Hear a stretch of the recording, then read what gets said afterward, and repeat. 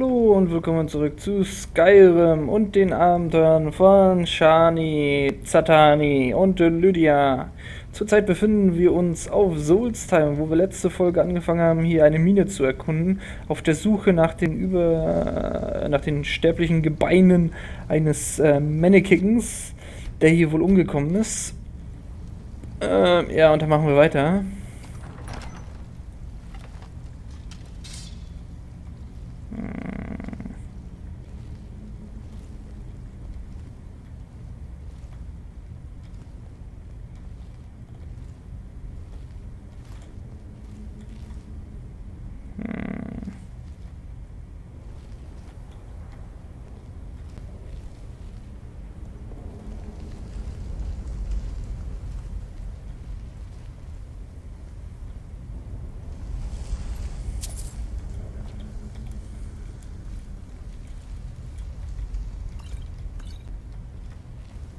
Well.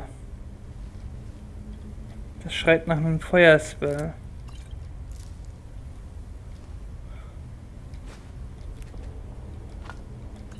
Aber erstmal, wenn wir hier noch weiter gucken.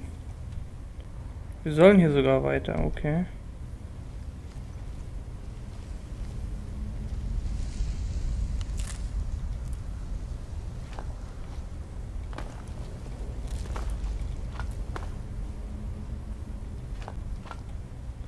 Jelly, okay.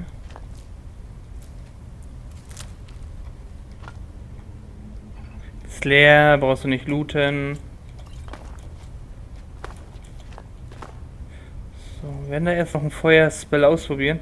Aber es kann sein, dass das hier nicht funktioniert, weil die so eine komischen Waben sind. Es kann auch sein, dass es was anderes ist und nicht Eis. Ähm...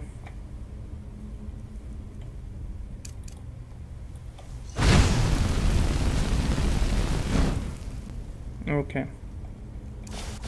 Ach Quatsch. Weapons.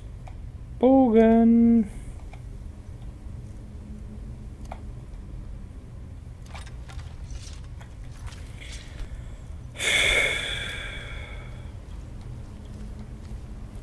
Wie hier der Wind durchpustet, dafür, dass das eine Mine ist. Uh. Sehr viel Feuer. Oh.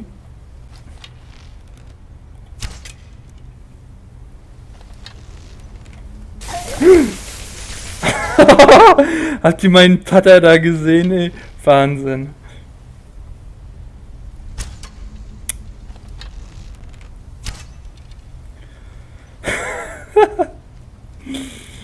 ah. Alter Falter hat er da gezuckt. huh.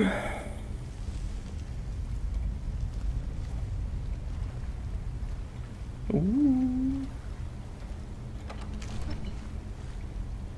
Oh. Da steht ein Drauger-Lord da oben. Ugh. Der kann uns wahrscheinlich one-hitten, wenn er einen Bogen hat.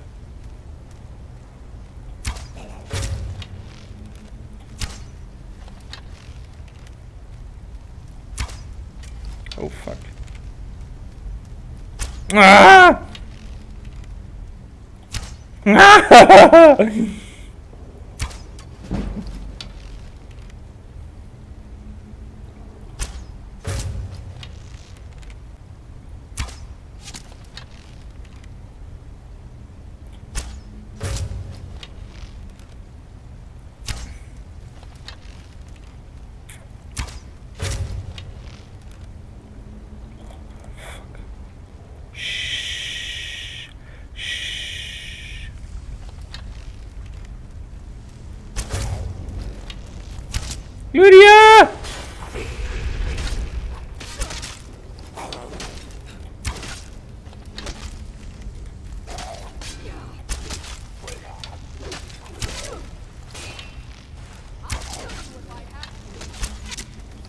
I fear you have to.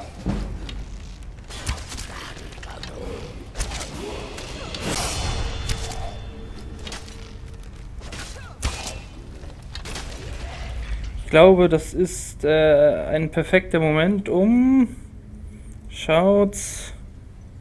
Slow Time. Ja, ja, ja.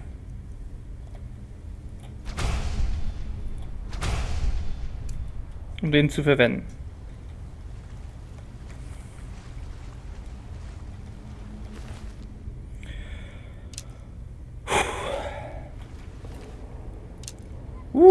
Niboni Sword.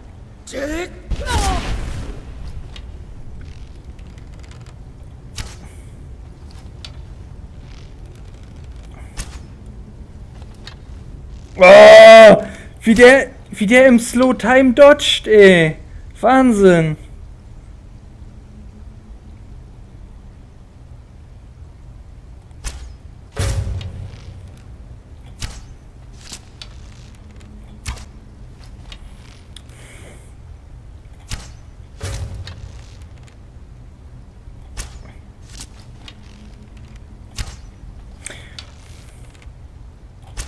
Mm!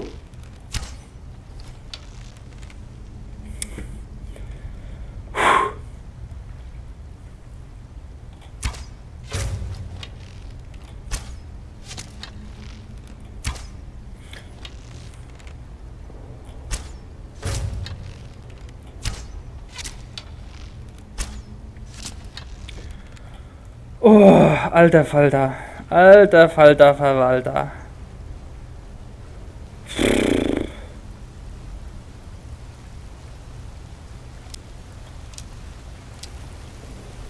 Selbst unsere Bögen machen hier... Uh, nicht genug Damage. Äh, unser Bogen und Pfeil.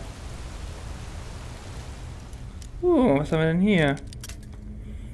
Hidden behind Waterfall.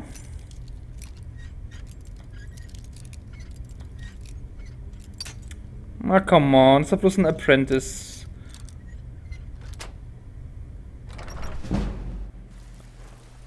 Wir werden aber gleich nochmal wieder zurückgehen. Weil da noch mehr zum Entdecken war. Oh.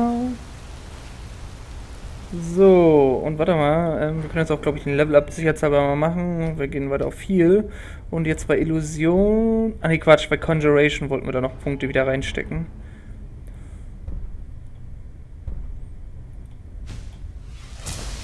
Gucken, ob wir jetzt unseren Bogen wieder beschwören können. Ich glaube es zwar noch nicht. Oh doch, 76, top.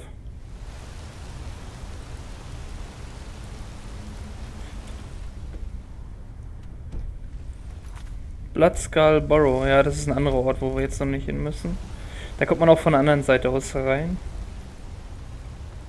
Wenn ich mich recht erinnere.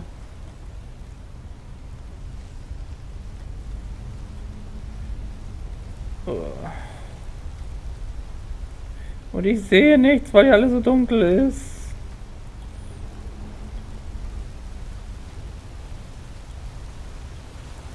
Aber da scheint ein Schalter zu sein, da auf der anderen Seite.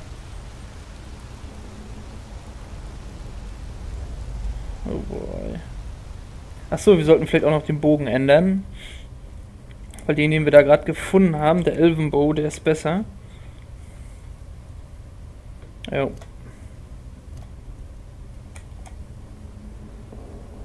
Obwohl, wir können unseren Bound Bow jetzt wieder nehmen.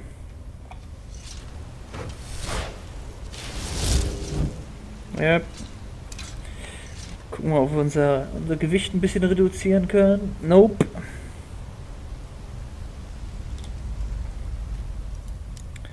Oh boy. Nein! Das hätte nicht sein müssen.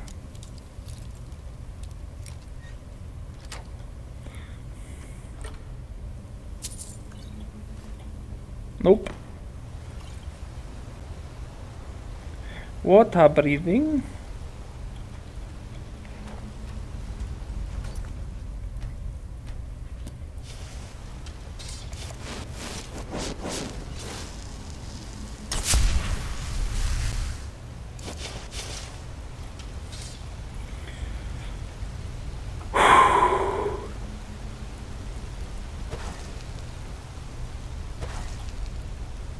Jetzt müssen wir langsam mal gehen hier.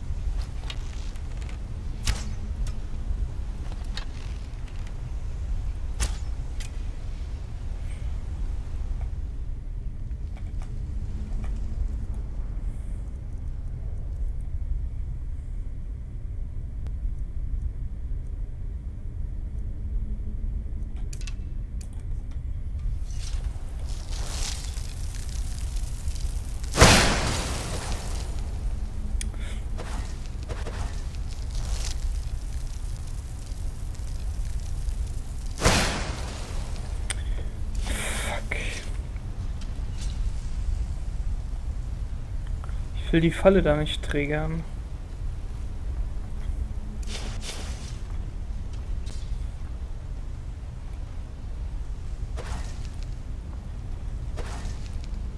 Ja, Pfeil und Bogen. Witzig. Oh.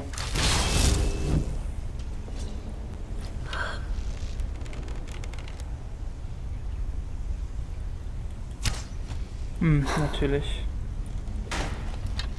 Nein!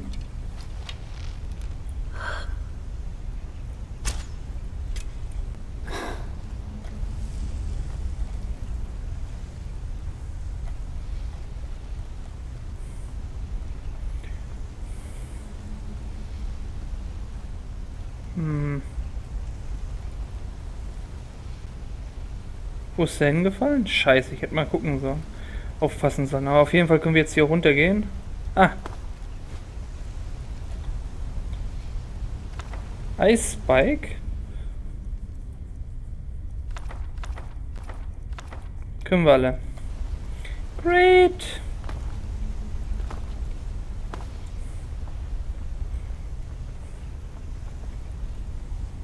Hmm.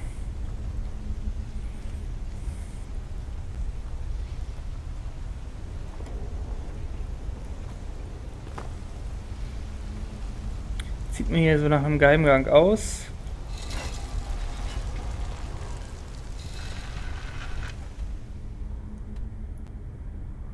Da müssen wir lang.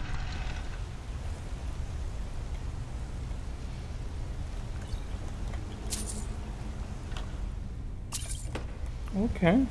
Domo. Domo arigato gozaimasu.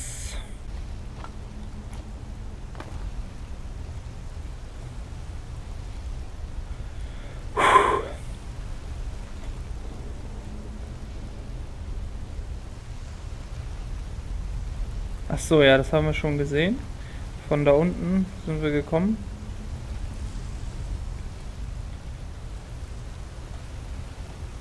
Uh. Da könnte noch jemand rauskommen.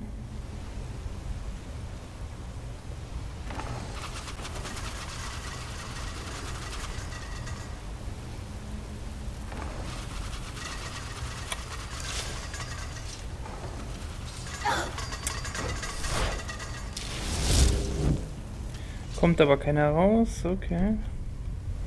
Wo geht's hier hin?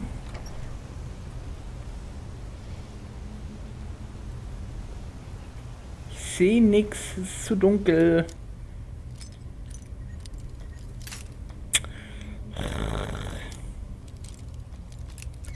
Aber warte mal, wenn ich mich erinnere, es gab irgendwo einen Torch, der hat null gewogen. So, was sagt die Rüstung? Die waren besser als unsere, ne?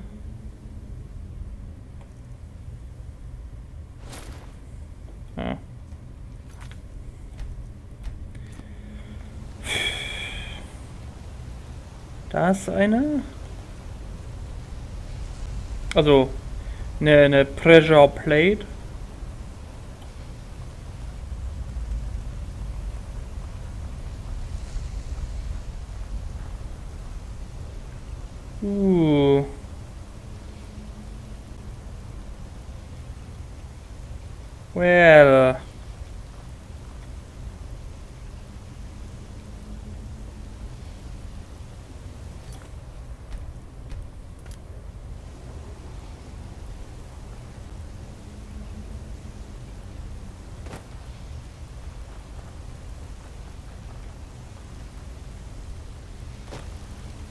Lydia?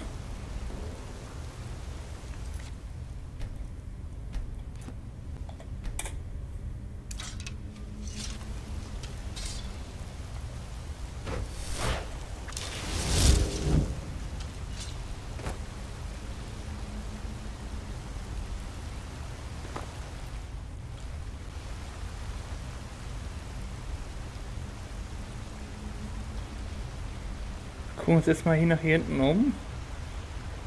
Okay, hier geht es eh nicht weiter. Ist ja gut.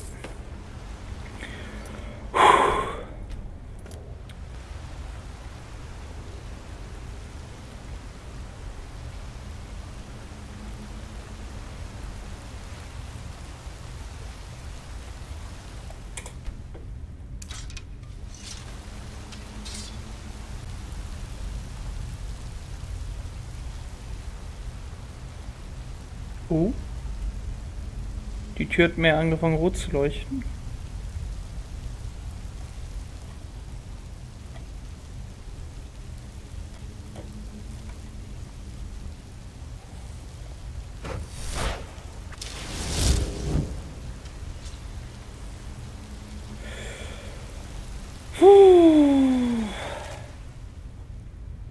Dagger Souls. Mm. Kühneret, okay.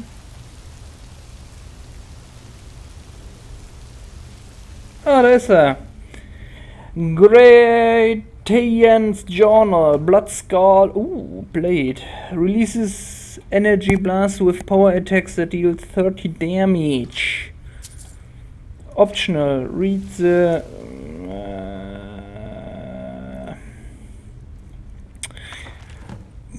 30 the rain sand uh, received a letter from the East Empire Company today. They say that some of the miners broken through the wall in a shaft three of Raven Rock mine and found some ruins. I hope this isn't another waste of time like that fiasco they sent me to in Cyrodiil. Um, I'll gather my assistant Milius and sail back to Raven Rock at first light. I'll be, be nice to see the old house in Solstheim again. Second seed finally arrived in Raven Rock and was surprised at the number of Dark Elf refugees living in town. They aren't really from mining stock, but I think they'll make fine workers one day. Milius and I spent a good part of the day clearing the ash off the roof of my house. The damn volcano is still erupting almost day and night. If it wasn't for the ash covering everything, it would look beautiful. Milius and I are headed into the Raven Rock mine to have a look at whatever it is in as it is the miners uncovered. I think I'll stop by the old swing. Oops, wrong side. And scoop and pick up a few supplies before we head down. Couldn't hurt to be prepared. Looked like the miners broke right through the wall of an old Nordic burrow. I've seen this sort of thing in Skyrim before. Damn Nords have burrows dotting the landscape, and almost none of them are ever marked on any maps. Looks like this burrow belongs to something called the Blood Skull clan. I'm going to take some rubbings of the inscriptions on the tombs and see if I can't learn some more information from my history books.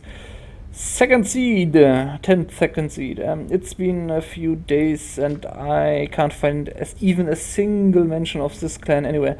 Milius and I decided to proceed ahead. We come to a drop down point, but I can see a massive chamber below. Took the better part of a day to lower everything down and climb down the almost sheer drop. 11th of second seed.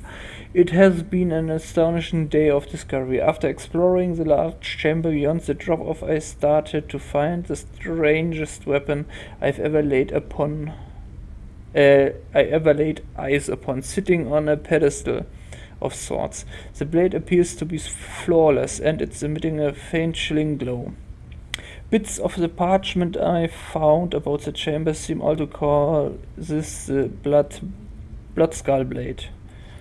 Not certain if it should be if I should remove it yet. I think I sleep on it. 12. 12th on second seed. I've decided against my own better judgment to remove the Blood Skull Blade from its pedestal. Miller seemed completely against it. But we need to bring this wondrous artifact with us when we find a way out of this out of the barrow. Whew. Um, I should have listened to Milius. The moment the blade was lifted, we set upon we were set upon by Draugr. Milius fought bravely, but he fell. I was able to destroy the remaining ones, but I was badly wounded. Wounded. I can barely stand. My only chance would be finding a way out of this place, but I fear that I'm trapped. Fourteenth question mark? second seed. Exploring has been slow. I can only move for maybe a few minutes at a time before I have to rest. My supplies are running low and I'm feeling weaker by the hour. The only progress I've made I have made is finding a strange door with markings on it that I've ever seen. There appears to be something on them missing. As they are confounded, my attempts at getting through. I have to study this further in order to make any probably can keep awake. I'm fairly certain uh, that the key to the door involves the use of the broken skull blade. When swinging the weapon, I noticed a ribbon of mystical energy emerging from it. I think by swinging the sword in different direction, it is possible to manipulate the ribbon and solve whatever puzzle this door presents. I hope to get well enough to put this to test soon. Each swing is a huge effort. Last entry! I lost track of time and my strength is fading. I can't even stand anymore. My wounds my wounds refuse to heal. I'm afraid this tomb will become my resting place. If anyone finds this journal, please send these notes to my superior, superiors at the East Empire Company and tell my ugh, fuck off and tell my wife that I love her. May Arkai guide my final rest. Uh, me to my final rest. Okay.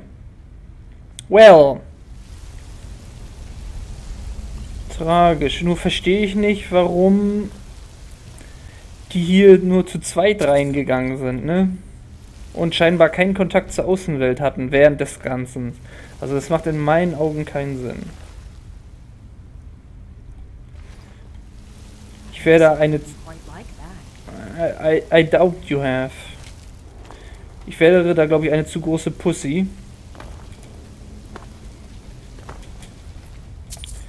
So, okay. Gut, dann legen wir mal den Blood Skull an.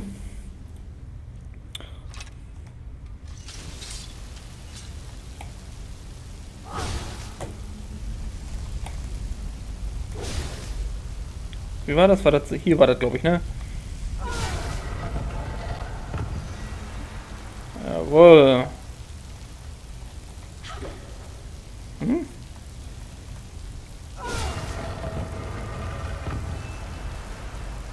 So, jetzt horizontaler Swing.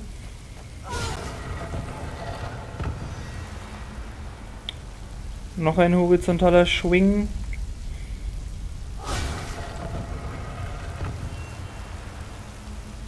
Und jetzt will er wieder vertikal. Okay. Oder müssen wir das da oben gegenzielen? Ah. Nee.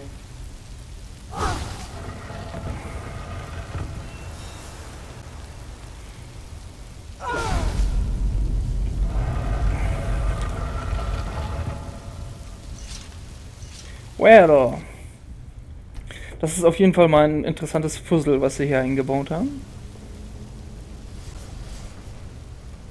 Und ich sehe wieder den Boden nicht, das ist sehr schlecht.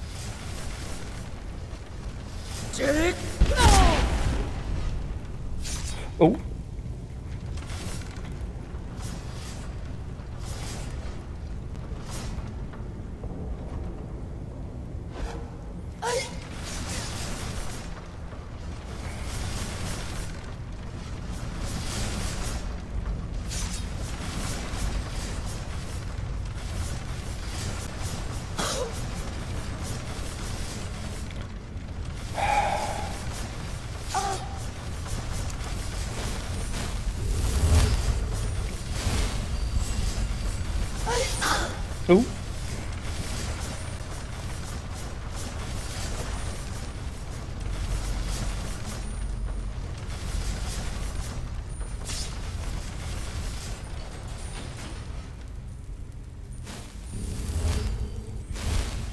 Gut, dass die da hinten scheinbar nicht durch den...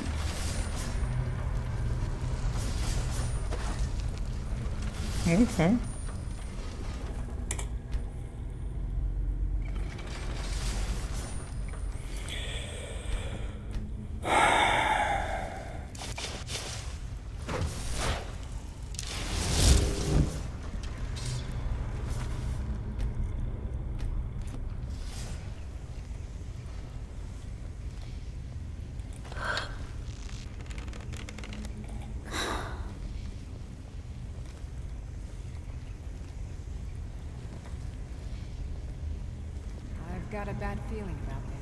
No shit. Sieht hier nach dem Ausgang aus. Uh, das ist ein schwarzes Buch. Eieiei. Das müssen wir uns auch gleich noch krallen.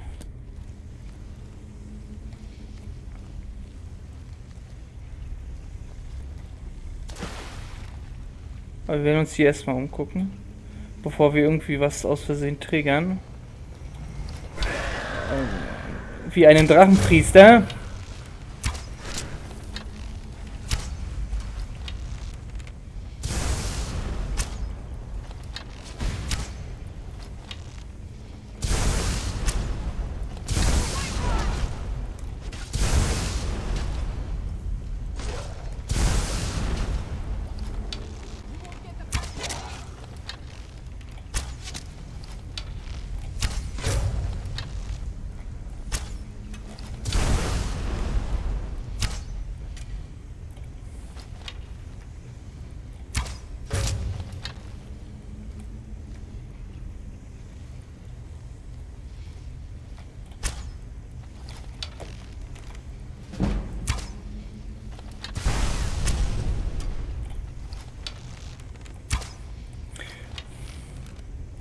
Ah!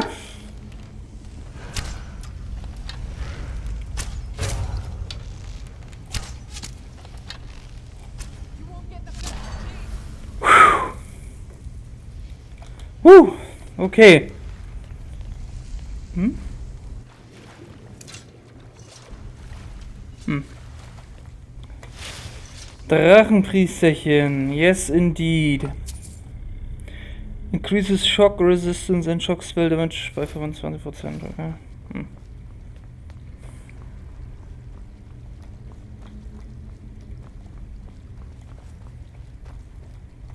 Mhm. What? What a laugh. Zwei Gold.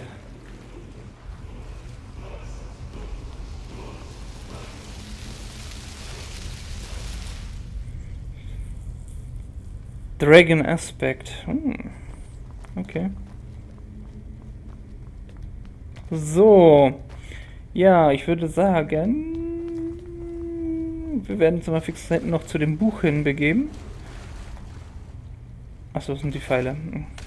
Und dann werden wir die Folge mal beenden. Denn in dieser Folge werden wir das Buch nicht mehr anklicken.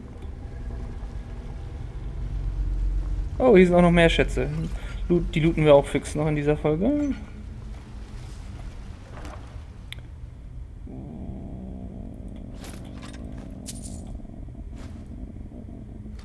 Uh, uh. Das Buch wiegt, glaube ich, auch noch auch noch ein bisschen. Also, hm.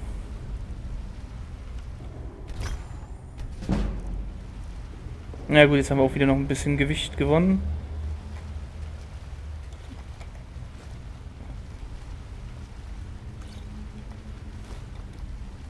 So. Okay. Speichern wir die Suppe mal ab. Und dann sage ich mal Dankeschön fürs Zuschauen und bis zum nächsten Mal. Bye, bye.